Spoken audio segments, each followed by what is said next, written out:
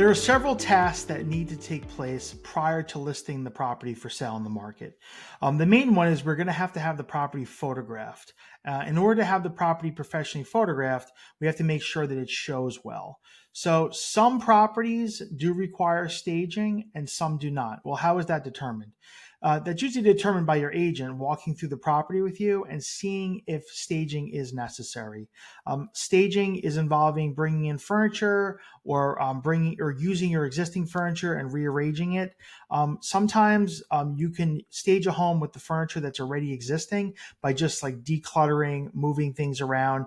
Um, when I list a property for sale, I'll usually walk through with the seller and give them general tips on things to do. For example, like clear the countertops in the kitchen, remove anything on the refrigerator as far as magnets, clear the bathroom counters, um, bring up like floor mats in the bathroom, things like that, uh, in order to make it show well. Um, but in some cases, um, a stage a professional stager may have to be brought in in order to stage it so it's magazine ready.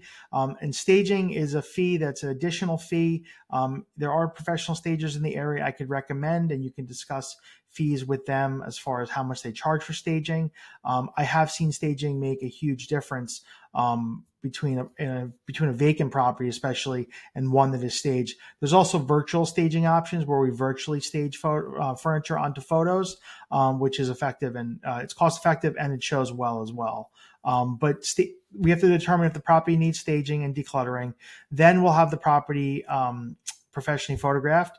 Um, I personally use uh, several professional photographers in the area that will do high quality, high resolution pictures, especially if there's views we see uh, through the windows. So we have clear images of uh, views outside the window. Um, and also, I like to do 3D tours, which are the Matterport, um, which is a 3D scan of the entire property, which allows the buyer to like walk through the property as if they are there.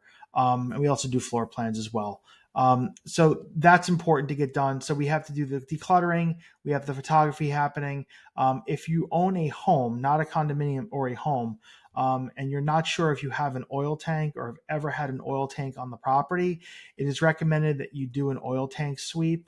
Um, oil tanks um, can become a big inspection item, especially if it's a decommissioned or abandoned oil tank under the ground. Um, and it is something that I recommend um, hiring a company to do a tank sweep to see if there is a tank that's in the ground somewhere because that may have to be addressed at some point prior to closing, whether it's removed or addressed in some fashion. Um, most attorneys would want a, an abandoned tank removed, and there's involves a whole bunch of environmental testing involved with that, um, which I could discuss in another video. Um, but you probably want to have, if you have, if you own a home, have a um, a sweep done to see if there's an oil tank on the property. And then also, um, you want to determine if you want to hang a sign in your property and or a lockbox. In a condominium, some associations do not allow signs to be hung. Um, some owners do not want a sign put up on a home. They don't want their neighbors knowing their properties for sale, or they only want um, they don't want anybody in the neighborhood calling about it. They only want highly quali- highly qualified people inquiring about it. Um, but that's up to the seller if they want to hang a sign. Um, most of the time they do, but I have had cases where signs are not hung.